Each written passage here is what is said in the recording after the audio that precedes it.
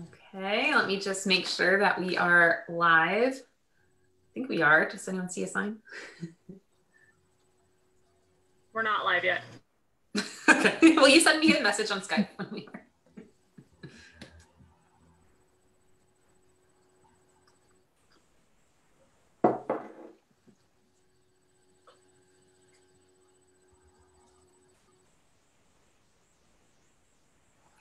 All right, Girl Scouts, I think we're live.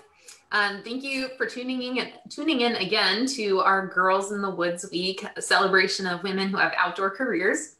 I'm Angie Madsen, the outdoor program specialist, um, and Georgia Bossy is here with me again. All week we've been running uh, question and answer sessions with women who have different outdoor careers. And tonight we are talking about oceanography with Sarah Gille. Um, we're talking a bit about scientific databases, research, what the future of environmental science looks like. Um, so Georgia is our Girls in the Woods director, and she also has a lot of experience with environmental and population biology, um, creating informational technology with scientific databases. And Georgia and Sarah actually know each other because Georgia was Sarah's troop leader um, in Colorado, right? Yeah. Colorado. Yeah. So we're all Girl Scouts here. Mm-hmm. um, this is supposed to be um, pretty interactive. If you would like to ask any questions, you can comment um, on this video and we will get those questions answered for you. But we have a couple questions from earlier um, that we'll start off with. But first, I think we should just um, one at a time say uh, who you are, what you study or what you do, your experience with any of the topics. So Sarah, would you like to go first? Yeah, my name is Sarah Gille. I'm a physical oceanographer, and that means that I study where currents go in the ocean, the, the physics of how the ocean moves, where currents go, how heat is moved through the ocean, and how the ocean is changing, how the climate of the ocean is changing over time. So I use a lot of different tools to do that.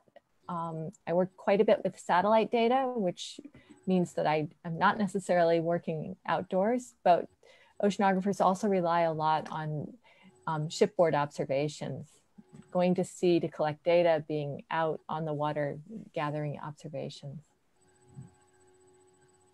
That's great. In Georgia, I know you have a lot of outdoor experience, but can you share a little bit about what you've done? So, in addition to working with awesome girls who love the outdoors as much as I do, um, I have had the opportunity to work as a Colorado Division of Wildlife Officer, as a intern with National Center for Atmospheric Research, where we studied hurricane um, formation, looking at what they call dropsonde data, where this airplane dropped a module that had test equipment in it and relayed the temperatures and wind direction and things up to the airplane as it dropped. And we worked with that data. And I guess that was where I started realizing how powerful data is in working with outdoor data because it allows you to learn a lot about it and to also make predictions. And out of that same science that I was doing back in the late 70s and 1980, um, we now have pretty decent ways of being able to predict hurricanes, which we could hardly do at all back in 1980. So mm-hmm. it's powerful. I've had the opportunity to work with all kinds of biologists, with botanists and um, wildlife biologists building databases to protect endangered species. I've worked with foresters to build databases to help manage forests. I've worked with horses and burros people to help manage the wild horses on our land uh, that the BLM manages. I've worked with archaeologists to help look at sites and help uh, cite uh, where potential sites might be based on the types of things we learned about the typical sites that were known. Um, I've worked with the fire teams on using data to produce maps of where fires were to go and where we might want to do some management of uh, types of woody uh, ecosystems that could easily ignite the fires too. So it's been really fascinating. It's been a great opportunity. Also, I get to go outdoors with all of these folks and look at the problems they're trying to do with data outdoors. So it's been an awesome career. And I'm retired now, and I'm really wanting other girls to have the opportunity to have awesome careers in the outdoors as well.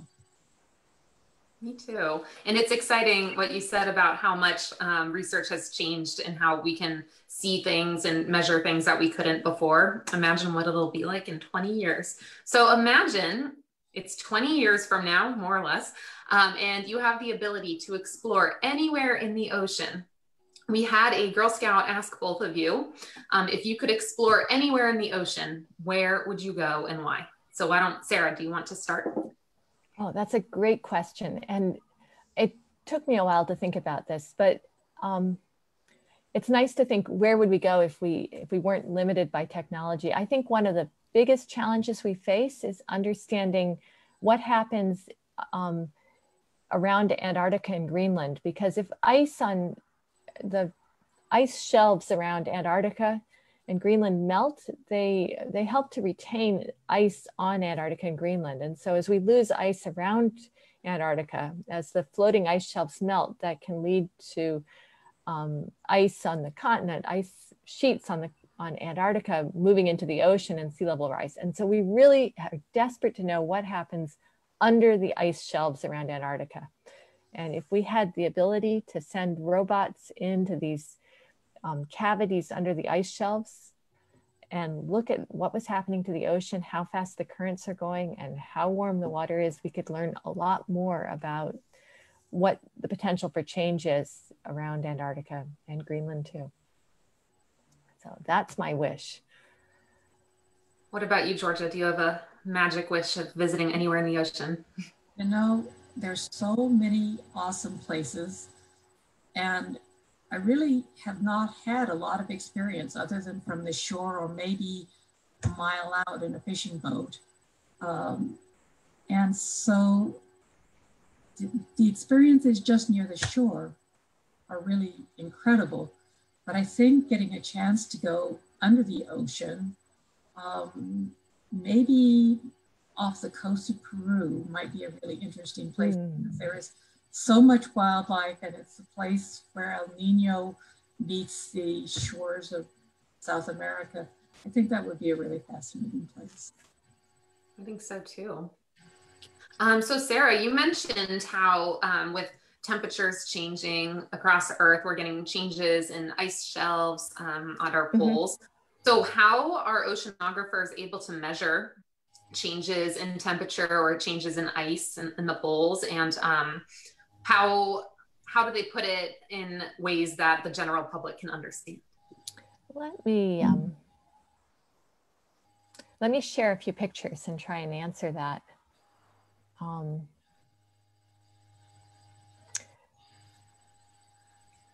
what we often hear in the media is, is I'm going to try and share my screen and um, see if I can get this to work. Um, see, share, there we go. Um, what we often hear in the media is that this year has been this, or last year, 2019 was the second warmest year on record. And we can look at how temperatures have changed over time and how, um, how the temperature of the earth has changed. When people talk about that, they're talking about the temperature at the earth's surface, the bottom of the atmosphere, the area where we live. Um, and the question is, how's the ocean changing? So, um, so surface temperatures on land and ocean have warmed over time. Um, and sea surface temperature has warmed too. This is from satellite data. And we're looking here at sea surface temperatures from 1950 up to the present. And you can see that temperatures uh, at the ocean surface have gotten to be, um, well, they've gone from a, a value of minus 0.4 relative to the average up to plus 0.2. So about a six tenths of a degree warming over this time period for the global ocean. But the question is really um, what's happening in the ocean interior? Um, and to look at that, we try and we want to measure the heat content of the ocean. What's the heat or the temperature averaged not just at the surface of the ocean, but over the top kilometer, the top um, 2,000 meters, some amount of ocean. This, is, this plot is looking at changes in the heat content of the ocean over 700, the top 700 meters. Um, and it shows that the heat content of the ocean has increased. Now, that's that's a quantity that doesn't make a lot of sense. But the real question then you might have is how do you measure that? And to do that, I'm going to skip ahead a little bit. Um, so if you want to measure the, the ocean, normally what we have to do is to go out in a ship. So we take a ship, and this ship here is um, a ship that belongs to the institution where I work, Scripps Institution of Oceanography. The Sally Ride is um, a relatively new ship that's named after the astronaut Sally Ride, who was a professor at the University of California, San Diego. And um, you can see that the ship has this big structure on the back. Um, it's able to hold a very large winch and to lower um, large instruments over the side. And so what people normally do is to take something like this, um, this package of instruments. This is called a rosette, and it's about the size of a small car. And they lower it off the side of a ship down to the sea floor and then use that. It has electronic sensors on it. They use that to, we use it to measure the temperature and the saltiness of the ocean. That is really slow and sort of tedious and we don't get a lot of measurements. So if you look from 1972 to the present, you can see all the measurements we've collected in the Southern Ocean and they're sort of gappy. We just haven't managed to measure every week or every day to really see how the ocean's changing. And so what's made a big difference is that we now have robotic sensors. Um, and these are called Argo floats. And they are able to go measure the ocean independently. So we're getting, let me see if I can show you how these work. Ah. So the Argo float has a satellite antenna on the top. Um, it has a temperature probe and um, a salinity sensor and it's got batteries and then it has a pump that lets it change its volume so that it can change its buoyancy and move up and down through the water. So at the, it can move from the surface of the ocean down to 2,000 meters, one and a quarter miles. Um, if it goes too deep, it would be crushed and destroyed, but we try to avoid that. Um, and so we have these go into the ocean. I'm going to skip that. Um, so they're dropped off a ship, the floats. They go down to 1,000 meters. They drift along with currents, and then they dive down to 2,000 meters and come up, and they measure the temperature and salinity. And so every 10 days, a float will do one of these and we'll get new measurements um, that cover the global ocean. So now we're getting measurements every, every 10 days all over the world. And that's showing us that the ocean, that's giving us the evidence to say that the ocean is warming up, that it's really increasing its temperature. So I'll stop sharing there. Let's talk a little more. Yeah. Um, oh gosh, I don't know where to go from here. Hmm. Georgia, do you have, I know this is probably different um, technology and you didn't work with oceans, but do you want to add anything about technology in the future? well, this sort of parallels the technology we're using back in 1980 to uh, and measure what was happening in the atmosphere of the ocean that allowed mm-hmm. us to start predicting the path of, of formation and, and tracking of hurricanes. Uh, I suspect some of the data that uh, the technologies Sarah just described is probably contributing to what we're doing now. And hugely, the satellite data is adding to a lot of our science, especially about global systems. Mm-hmm. Um, and it's also adding to our knowledge of how ocean based animals um, choose the path of where they're going to. Uh, we also are learning more about uh, what causes El Nino and the climate changes that occur as the uh, Pacific Ocean sloshes back and forth between the Indian Ocean and the banks of South America and the changes in ocean temperature that go on there. Right. We see temperature changes on the time scale of El Nino, and we see temperature changes that happen over much longer time periods. And we'd like to tease apart what causes those and and how sensitive the climate system is to that those types of changes. So, what drew you into this type of work? You both have very specific and scientific experiences, and even just one particular robot having that much knowledge about. Um, how did you get there? What made you interested? And Sarah, why don't you go first? Yeah, I would. Well, I was. Um, I grew up in Colorado. I did. Um, was a Girl Scout. I was active. I did a lot outdoors. I was really interested in the environment, and I wanted to find a science that would let me um, contribute to our understanding of the environment. So I poked around and looked at what the options were, and I was really excited by the possibilities, the open questions that were available in oceanography. And I, I think in all the years I've been in oceanography, there are still lots of great open questions and mm. lots of ways to make a contribution. So I felt like this was an area of science where I could really, there was a lot to be learned and a, a lot of opportunities to contribute to what would be helpful to know to, to advance our understanding of the environment and the climate system. Did you need to study like a specific, did you go to college for this?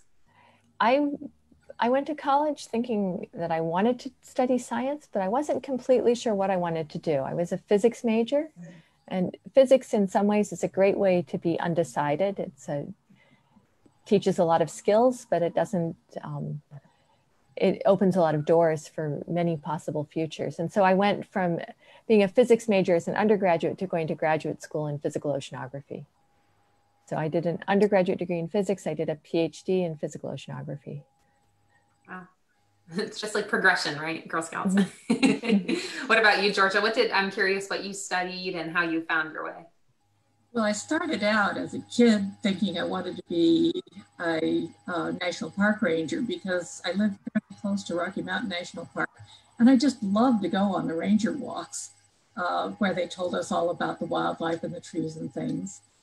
And I love to go hiking in the mountains and to climb up the tall mountains and look out from there.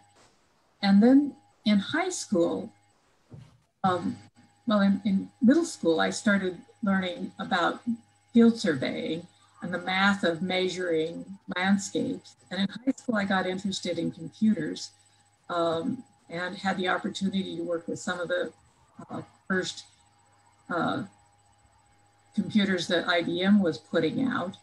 Um, and so I enrolled in a vocational class in business data processing. And I got out of that class and I decided I was bored with business data processing. I really wanted to do with science computers. Uh, and since I was interested in biology and trees and animals and things, I majored in environmental biology and um, had the opportunity as a result of that to work with the Colorado Division of Wildlife as wildlife officer. And I got a job with uh, NCAR, National Center for Atmospheric Research in Boulder, uh, where I got to study hurricanes. And I really hadn't any idea that I was interested in hurricanes until I did that. But it suddenly opened up to me the power of what you can do with computers. And um, when I found out that the BLM was looking for people with both biology and computers as a background, uh, that really charged me up and I applied and got the job with them and spent the next 35 years working with them, a little bit more than that even. Um, so I had the wonderful opportunity to work with biologists and scientists of all kinds, with map makers, an incredible swath of people who were doing outdoor work and to go out and work with them to see what kind of data they were collecting and to help them figure out ways that we could analyze that data to give them um, results that told them something about what they were doing, um, how to manage the forest, how to stop a fire, how to and what the right carrying capacity of wild horses on the land was. And um, so it was a very uh, full experience in all of those different things that I ended up being interested in. So, yeah. I like how you both have the theme. I think it's very common that, um, you know, when you're a Girl Scout, you don't know exactly what you want to do someday. And instead, you just get a series of different nudges that leads you to a passion. So I think that's great. Um, this is maybe a tough question, but um, at Girl Scouts, we build girls of courage, confidence, and character who make the world a better place. And I'm wondering if you could tell us about an experience in your work um, that made you realize that you were making the world a better place.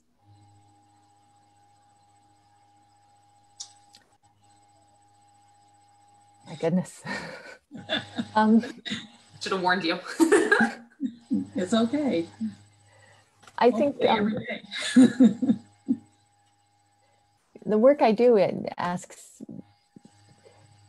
really big questions about how how the ocean contributes to the climate system and how the climate system is changing, and um, and that's led to surprises. We when we first started getting these Argo floats, the precursors to Argo floats, and we hadn't really explored what they could do. I did some early analysis on them and and realized that what they were showing was that the temperatures we were measuring from those floats, from the floats, were warmer than all the temperatures in the historic data, and that clearly implied the ocean was warming up.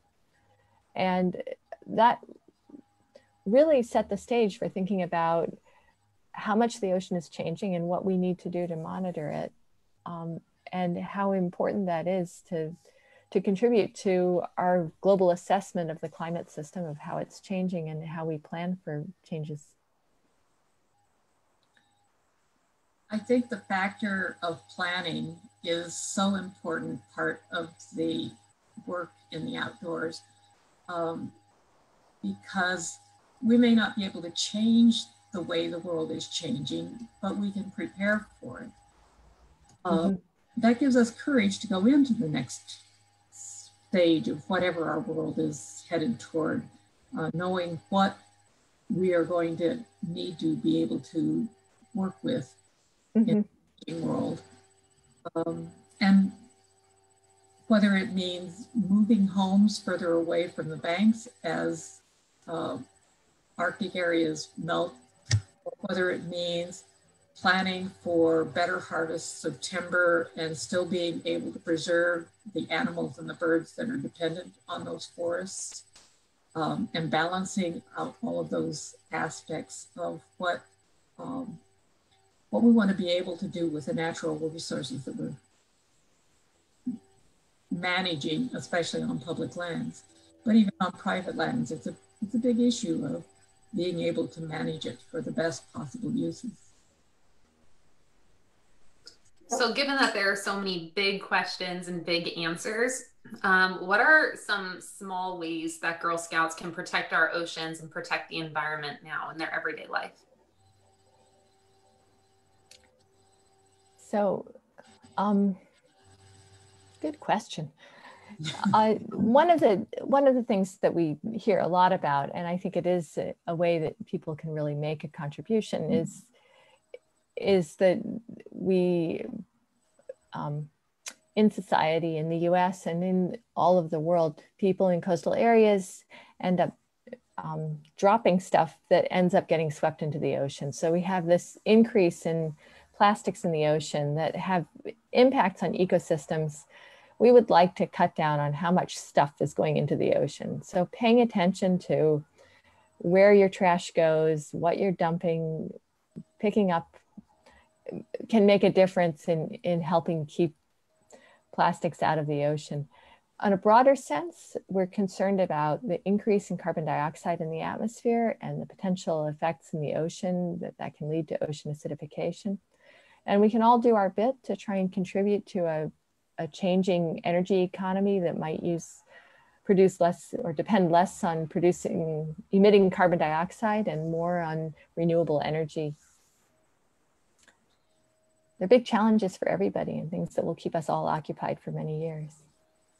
I think one of the things that Girl Scouts can do back it up, is getting accustomed to the reduce, reuse, recycle of all of the things that we use. Um, when you buy a set of clothes um, and then just throw out what you previously were wearing, that just goes in the landfills. It um, contributes to the need for harvesting trees and other resources to replace um, the things. And if we are able to better use the resources that we are harvesting, um, it'll be better for our ecosystem in general.